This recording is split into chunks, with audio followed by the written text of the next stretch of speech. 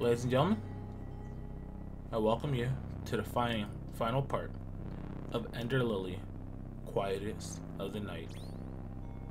Real quick, before we jump into this, I want to make sure one thing. In order to get the final ending, you must have the Luminous Aegis Curio, Illuminate Aegis Curio equipped. We're set up. We're as strong as we're going to be at this point, other than maxing out our level. Let's go. So for most of this fight, I am going to talk, unlike last time. Because last time I did tend, I tended, I tend to like to be quiet during boss fights because I feel like it's, it's a nice thing to just let the bosses just kind of speak for themselves. Took some damage there, sucks. There we go. So I'm using mainly Julius's super because what it does is it provides me a lot of crowd control for these fights. Because one of the biggest issues you'll run into, in my opinion, for these fights is just getting hit by nonsense. Because this boss just summons so many ads.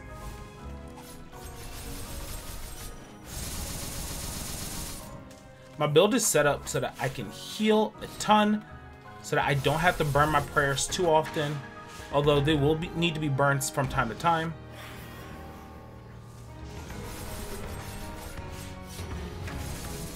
Ooh, that's a lot of damage. Ooh, that's a lot of damage.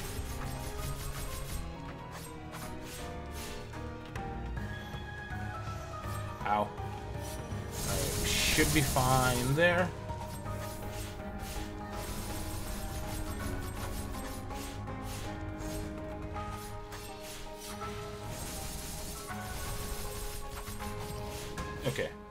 We're chunking through.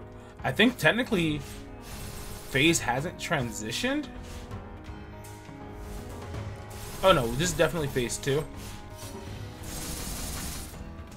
I don't know when he went into phase two.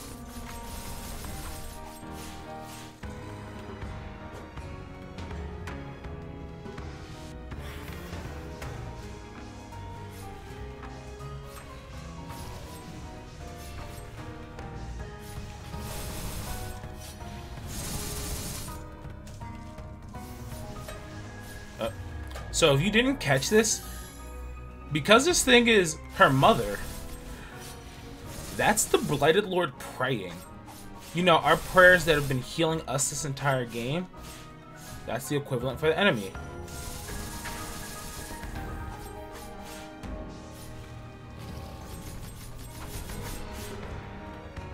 This might finish it.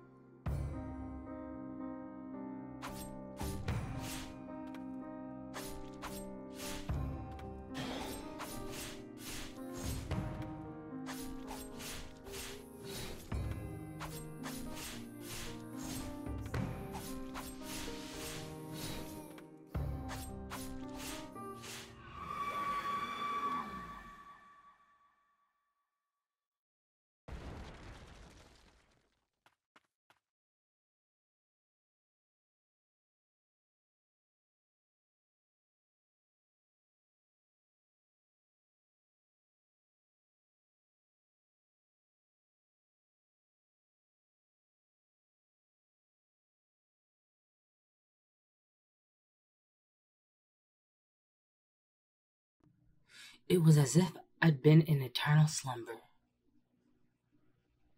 unsure if I was alive or dead. The days were filled with nothing but pain. When I awoke, I lay on a black pedestal. I felt a warm touch grace me. The tiny white priestesses were holding my hands. The same priestesses who were made to take on my blight. From nearby, I could barely make out the voices of the coven members. The blight transfer rite was about to begin. The priestesses, knowing nothing of their fate, nuzzled up to me. These children would be sacrificed to keep me alive. What was it all for? The time I spent with them was what truly saved me. If I am to pass on a legacy to these children, let it be one of hope, not suffering.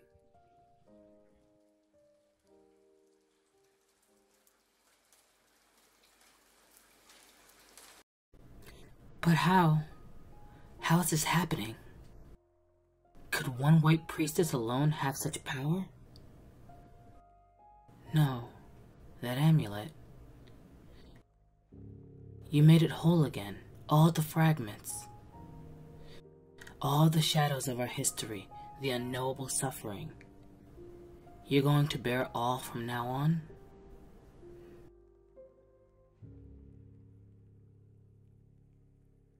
I see. You came all this way with everyone. Thank you. For freeing us all. For freeing me. You accomplished what I could not. You are never just a clone of myself. You're your own person, Lily. You've grown so much. It's time I should be going. I'll be watching over you.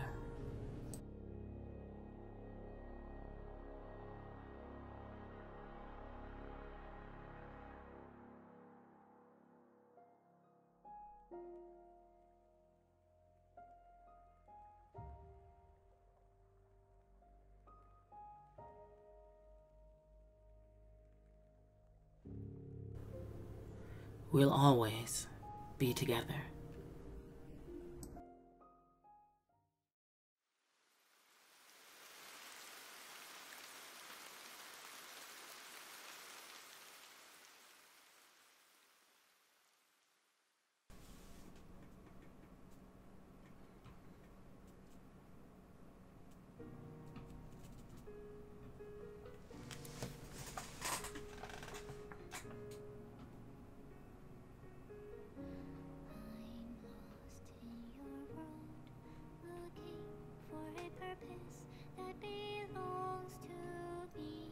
With that, ladies and gentlemen, that is the end of Ender Lily, Quietus of the Knight.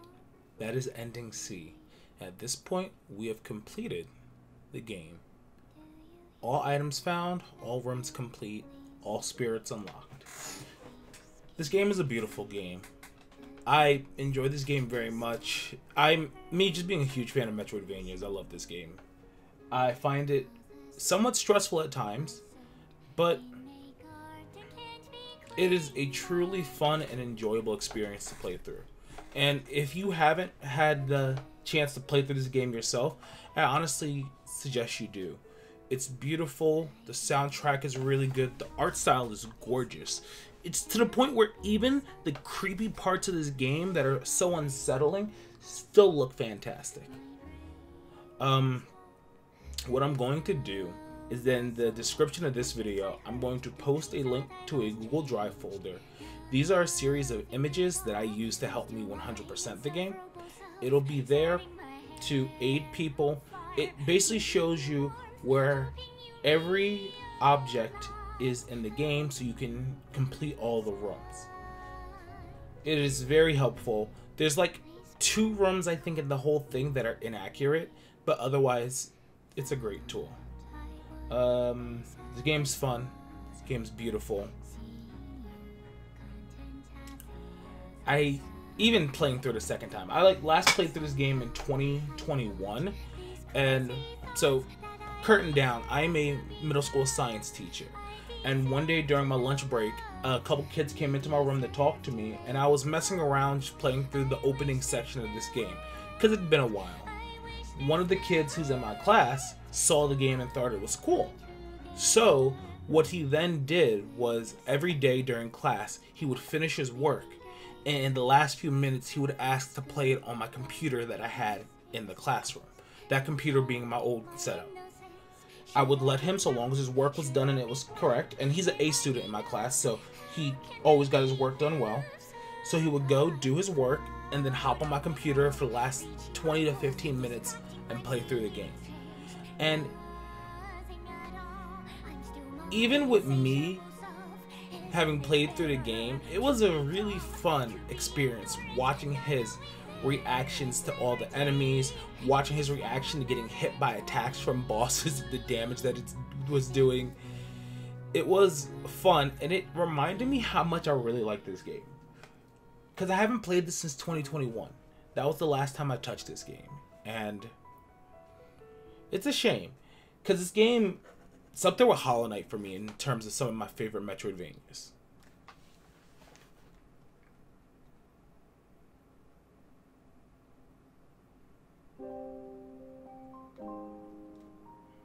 It is done. At long last, for each a proper burial. Lily, take heart, you are not alone. The blight may have taken them, but they are still watching over us and I will never leave your side.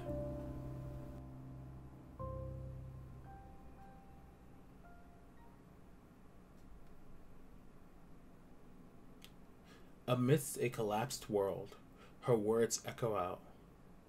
Thank you for finding your way to me.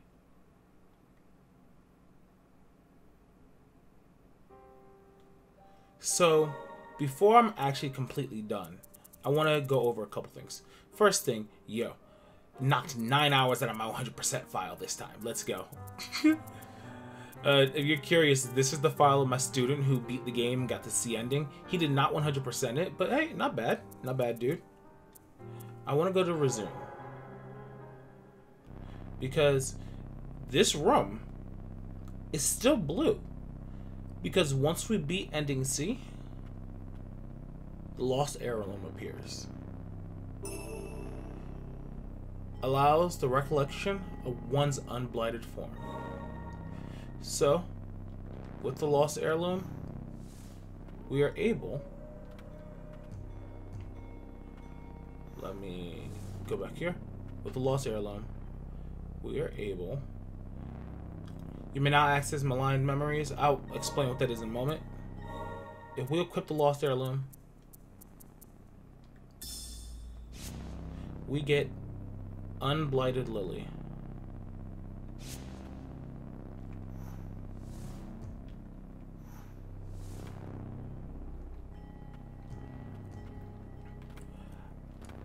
I miss seeing this form of her. And you... God. It's crazy to think how much damage the Blight does. Unfortunately, this is the only room that will not turn yellow regardless of the fact that we 100% of the game.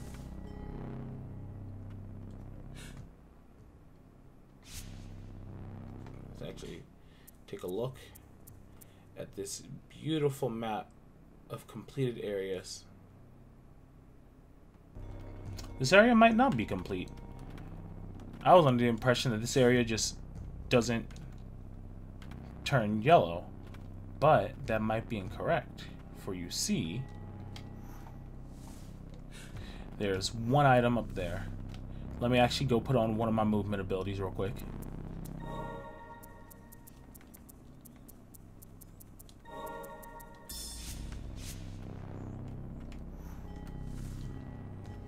I'm surprised. I totally thought I saw something twinkle on the ground. I did not know this was here. I genuinely thought that this room just doesn't light up.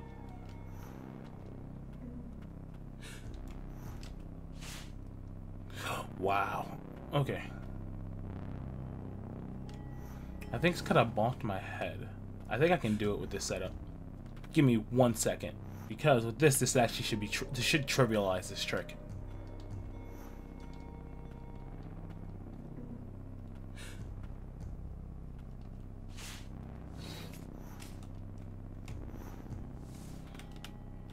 One last amulet fragment. There we go. With this, we have 100% of the game. I actually didn't realize that there was an amulet fragment up there. That's my fault. Now, with all the trials and tribulations we have been through, there's only one thing left for me to show off. If we go to memories, all these memories allow you to refight our bosses. These are the final memories and cutscenes of the game. But here we have maligned memories. This is a boss rush mode. Now note, this was added after I had originally beaten this game. This was added after the fact. But essentially, you fight every boss in the game back back. Not all the small spirits, all of the big bosses. Which you can see, eight of them on screen, Let's give it a try.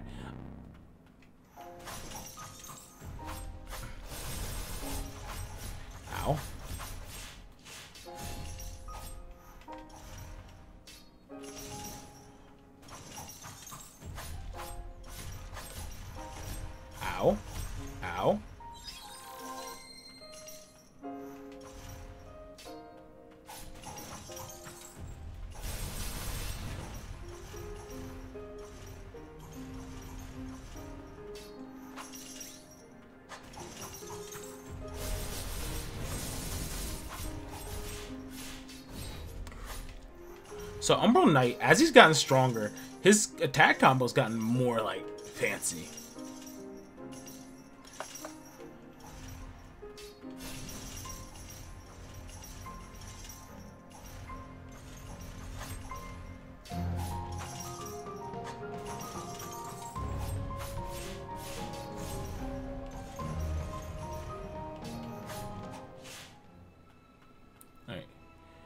Not really giving this a super hard try, but I am max power at this point.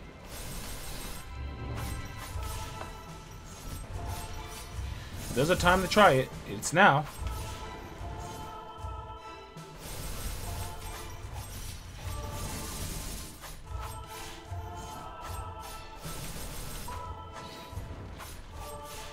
No, this is, once again, the first boss of the game.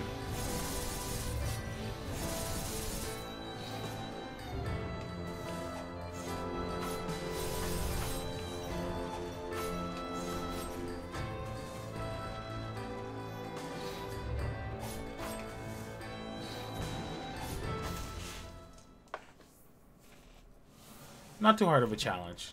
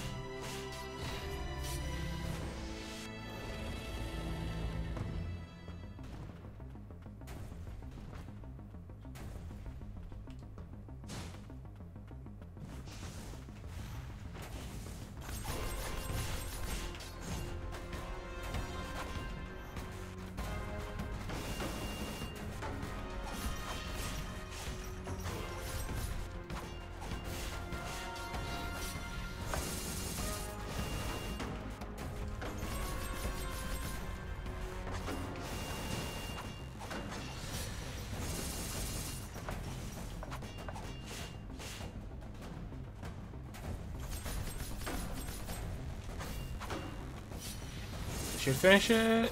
Not quite. Oh my goodness.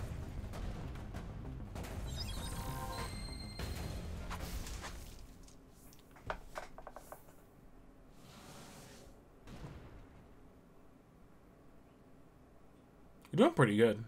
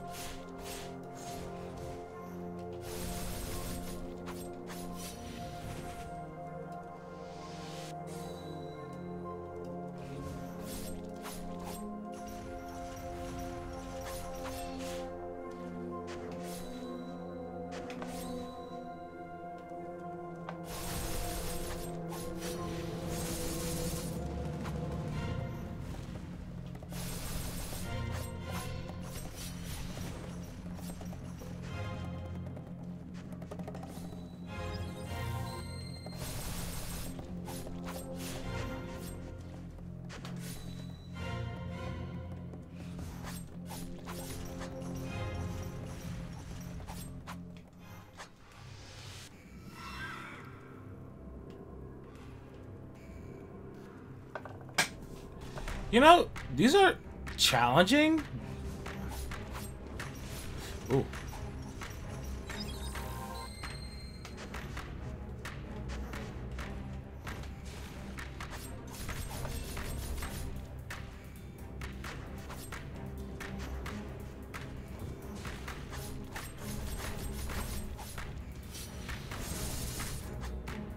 All right.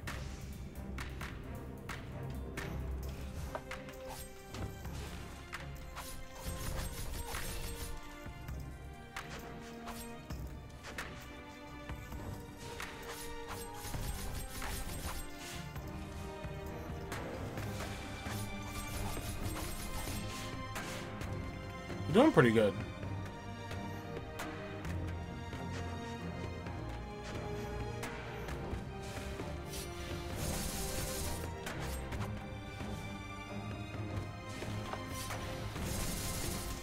Nice. Pretty smooth. We're having some pretty smooth runs of these bosses. I don't know who's next, though. I'm assuming it's all... Oh, that's right, Silva.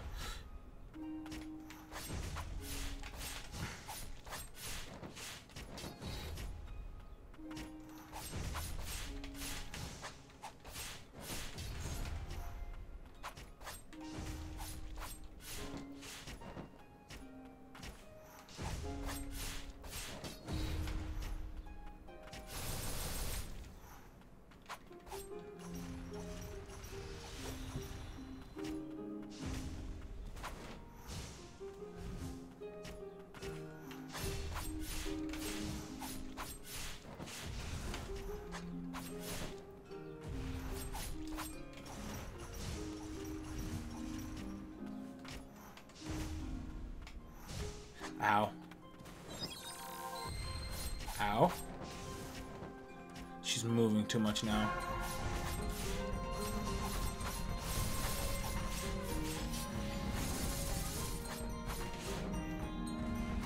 Good damage, though.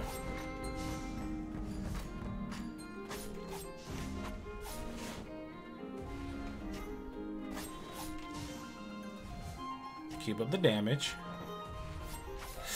Ooh. Ooh. Ooh. The Silva backdash. Oh my god. I was doing pretty good. The Silva backdash would beat me up though. But yeah. I think that's it for now. Uh, this game, I'm not going to sit here and keep doing the memory mode. Um, thing I never shut off was Blightborn modes. So you can make the game more difficult for yourself. You can make a cap of what level you can go to. You can cap what level you can take your spirits up to. You can make enemies hitting you insta kill you. You can turn the ability to prayer off. And then you can multiply your contact damage. You can make contact damage non existent, or you can make contact damage ridiculous. Uh, contact damage is bad enough in this game, honestly.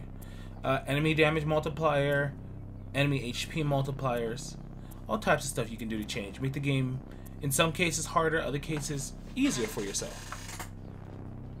Uh, I guess that one I can't do, but the contact damage I can make easier. But, I digress. This has been a fun playthrough. I'm glad I got to show this game off. I'll catch you guys next time.